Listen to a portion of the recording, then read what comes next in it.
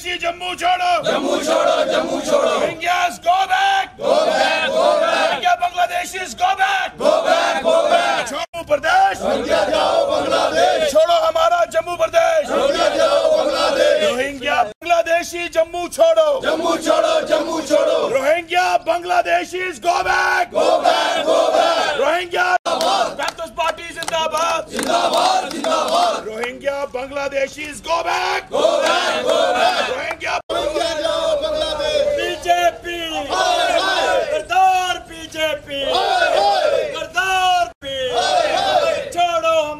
Jammu प्रदेश। छोड़ो हमारा जम्मू प्रदेश। Rohingya Bangladeshi. Jammu. BJP.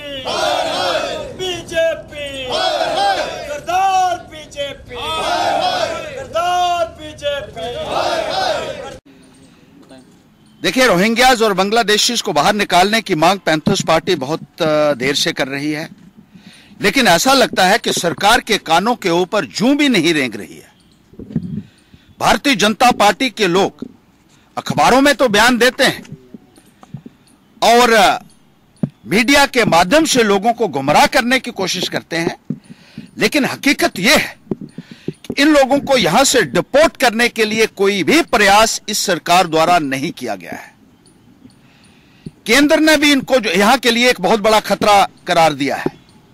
यहाँ के लोगों में एक बहुत भारी अलार्म है।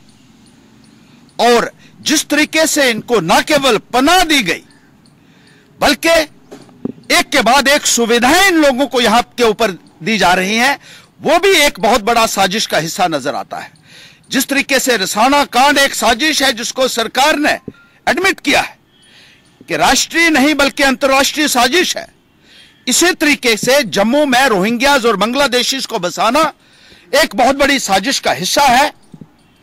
और भारतीय जनता पार्टी के लोग जो हैं, वो मूक दर्शक बने हुए हैं आज। पैंथर्स पार्टी इस मुहिम को केवल जम्मू तक सीमित नहीं रहने देगी, बल्कि दिल्ली तक ले जाएगी। हमारे लोगों के सिरों के ऊपर जो मंडरा खतरा मंडरा रहा है आज की दौर में, उसके लिए भारतीय जनता पार्टी और पीडीपी बराबर के जिम्मेदार है। और एक मुहिम रोहिंग्यास को लेकर पैंथर्स पार्टी। आने वाले वक्त में खड़ा करेगी, क्योंकि यहाँ के लोगों की आइडेंटिटी को एक खतरा है।